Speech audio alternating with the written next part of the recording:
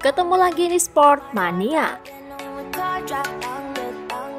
Sebelum menonton, jangan lupa untuk selalu tekan tombol subscribe dan loncengnya dulu untuk mendapatkan info terupdate dari Sport Mania.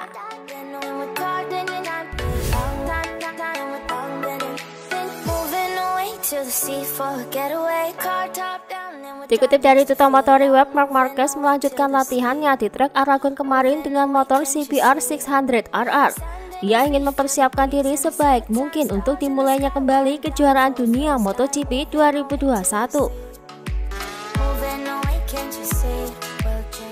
Ia pun memposting video latihannya di Instagram pribadinya.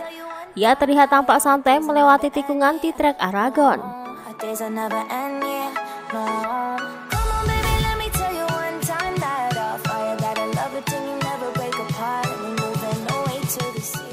Dikutip dari Tutong Motori Web, Santi Hernandez mengungkapkan karakteristik yang membuat Mark Marquez menjadi juara sejati seperti beberapa lainnya dalam sejarah kejuaraan dunia. Ini adalah gairahnya, hidupnya, hobinya. Dia hidup untuk itu. Itu bukan pekerjaannya, ini hidupnya. Dia suka melakukan apa yang dia lakukan. Tidak masalah baginya untuk mengendarai sepeda motor setiap hari dan untuk berlatih, ucap Santi.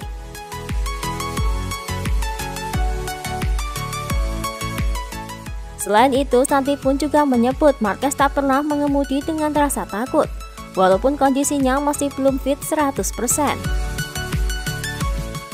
Dia tidak takut, aspek yang sangat penting dalam olahraga ini. Sayangnya terjadi hal-hal yang tidak kita sukai seperti yang terjadi akhir pekan ini, ucap Santi.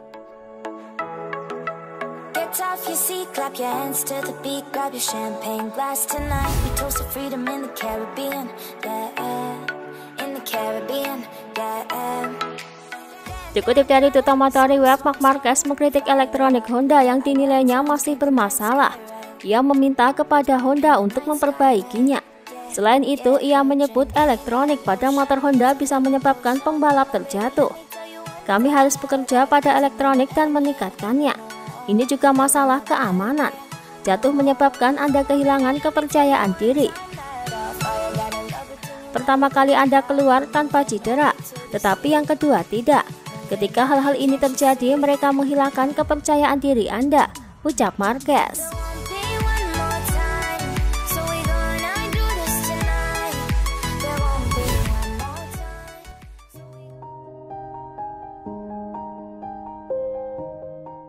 Dikutip dari Motosan, Jack Miller mengatakan bahwa para rivalnya banyak yang iri pada motor Ducati. Tetapi menurutnya setiap motor mempunyai kelemahan dan kelebihannya sendiri. Menurutnya motor Ducati mempunyai kelemahan saat menikung. Sayangnya di dua balapan pertama hal-hal tidak berjalan seperti yang saya inginkan. Lalu ada crash di Belanda. Setiap motor memiliki kelemahan dan kelebihannya masing-masing. Tentu saja motor kami tidak memiliki handling terbaik saat menikung. Namun ketika saya berbicara dengan pembalap lain, mereka semua iri dengan akselerasi dan power motor kami. Kita harus bekerja pada apa yang kita miliki, ucap Miller. It's so cold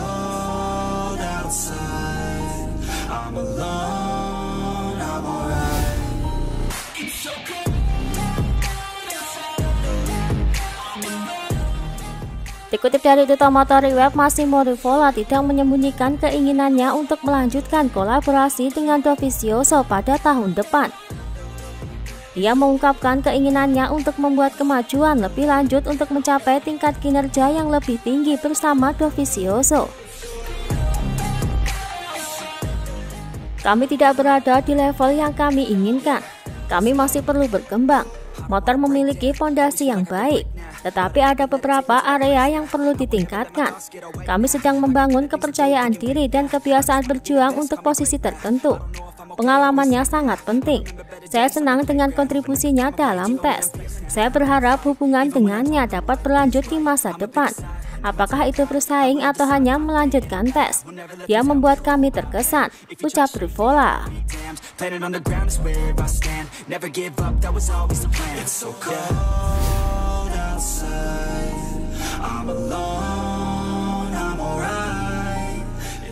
Dikutip dari Tutang Motor Web, Suzuki akan menghadirkan beberapa inovasi teknis. Salah satunya yang disukai Johan Mir dan Alex Rin di kejuaraan MotoGP.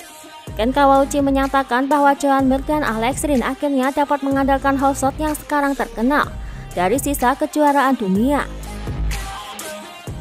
Bahkan jika kami puas dengan motor 2021, selalu ada perbaikan yang dilakukan untuk bersaing dalam olahraga ini yang berarti terus-menerus dipanggil untuk mengembangkan solusi baru. Istirahat panjang memungkinkan kami untuk menganalisis setiap detail dan menerapkan ide-ide baru. Kami berharap akan ada efek dari paruh kedua musim ini, ucap Kawauchi.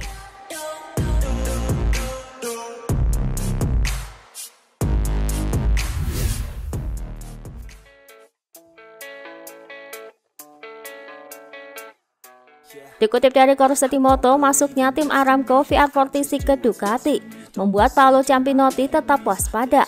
Hal itu disebabkan menurutnya Rossi adalah karakter yang dominan di pedok. Ia pun tidak ingin tersingkir atau kalah saing dengan tim Aramco VR46. Kami tumbuh bersama mereka, dan saya percaya bahwa kontrak yang begitu panjang adalah sebuah apresiasi. Dengan adanya VR46, saya harap ini bukan kontrak terakhir yang akan kita tanda tangani bersama Ducati, ucap Campinotti.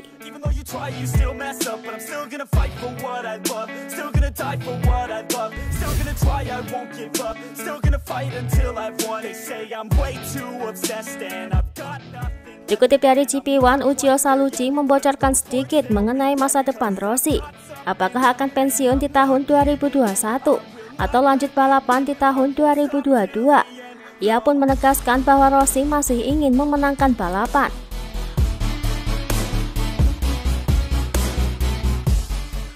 Jika dia adalah orang yang mengakhiri karirnya, dia tidak ingin melakukannya seperti yang dia lakukan sekarang.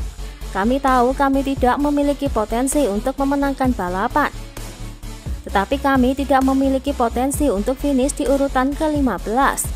Kami mendapatkan dukungan besar dari Yamaha dan tim, dan kami ingin mencoba melakukan 10 balapan yang hilang di puncak level kami, dan bukan seperti ini, ucap Uchiyo.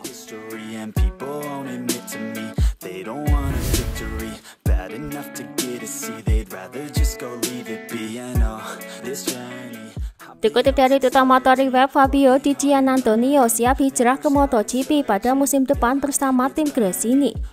Ia pun menyatakan bahwa dirinya ingin sekali bersaing dengan Rossi di lintasan. Meskipun dalam beberapa tahun terakhir dia mengalami beberapa kesulitan, dia selalu bisa kembali ke level tinggi. Dia punya bakat hebat yang selalu ada dan masih ada. Saya sangat mengaguminya karena dia selalu mempertaruhkan dirinya. Dia selalu berusaha untuk berkembang.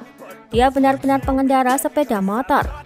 Mungkin yang paling penting akan menyenangkan untuk balapan dengannya, berbaris di grid bersamanya, dan mungkin bertarung melawannya di balapan, ucap Dijia.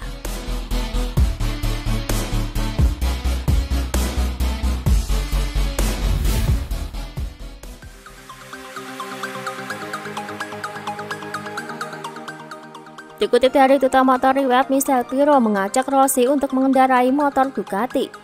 Ia ingin sekali mendapatkan umpan balik dari Rossi. Ia yakin Rossi akan merasakan perbedaan motor Ducati dahulu dan sekarang.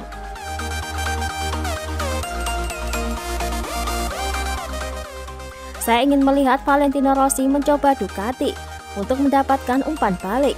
Tahukah Anda beberapa kali saya mengatakan kepadanya, jika Anda mengendarainya sekarang, Anda akan melihat perbedaannya. Dari situ saya mengatakan, Coba Ducati dan lakukan 20 balapan bersama pembalap kami, ucap Piro.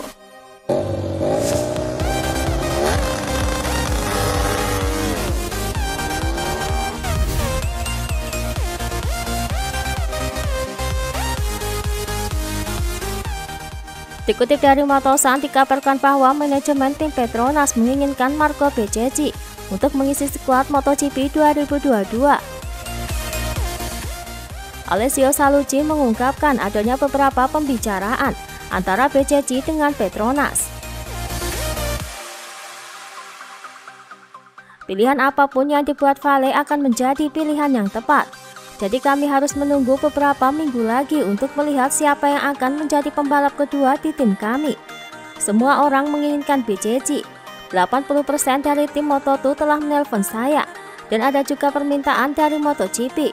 Saya tahu Petronas menginginkannya. Kami sudah berbicara beberapa kali dengan Stickfold. Kami akan membicarakannya di Austria dan kami akan melihat apa yang harus dilakukan, ucap Ucio.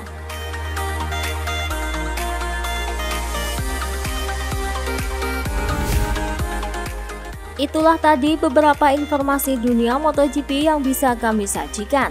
Terima kasih telah menonton video ini. Selalu ikuti informasi MotoGP kami lainnya. Salam Sport Mania!